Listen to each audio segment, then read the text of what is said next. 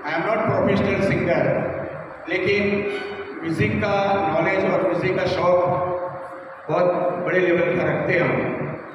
और रवि भाई बरसों से इस प्रकार के टैलेंट शो ऑर्गेनाइज करते हैं।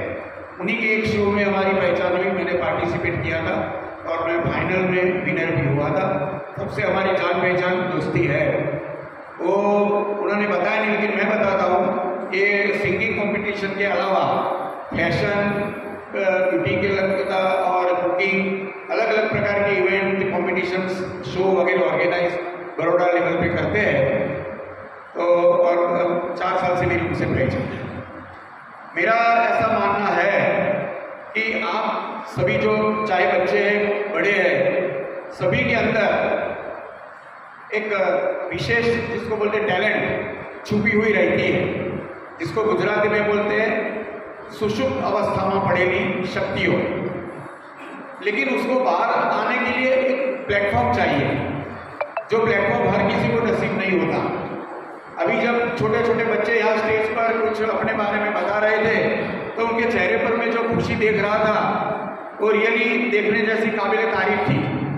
तो उनके अंदर जो कॉन्फिडेंस जगाना वो बहुत बड़ी बात है, और ऐसे टैलेंट शो ऐसे कॉम्पिटिशन से ऐसे बच्चों में ये जो कॉन्फिडेंस के बीज हुए जाते हैं, वो आगे चल के कौन सा बीज वृक्ष बनेगा, वो हम नहीं जानते हैं। और सबसे बड़ी चीज़ यही है, जो रवि भाई कर रहे हैं, बहुत अच्छा कर रहे हैं, मेरी शुभेच्छा है। और आज के मेरे जो साथी है भद्रेश भाई, जो जरा प्लीज़ आप खड़े होंगे भद्रेश भाई। खड़े होंगे प्लीज़ भद्रेश भाई जोशी हमारे पुराने मित्र है और वो भी संगीत के काफ़ी अच्छे जानकार है महेंद्र भाई वैसे तो भाई डिग्री डॉक्टर है अभी भी है लेकिन डॉक्टर ही नहीं करते हैं और म्यूज़िक का अच्छा शौक और नॉलेज रखते हैं और अभी अभी जो हमारे बीच लेट आई हमारे हारून की जानी पहचानी निराली मैडम उनसे भी मैं कहूँगा, खड़े होंगे और वो लोग प्रोफेशनल है और बहुत बड़ी हम सबसे ज़्यादा जानकार है। उनका और सभी का भाई की तरफ़ से वेलकम करता हूँ। और आप सभी जो पार्टिसिपेट आज है, उन सबको शुभेच्छा व्यक्त करता हूँ मेरी थैंक यू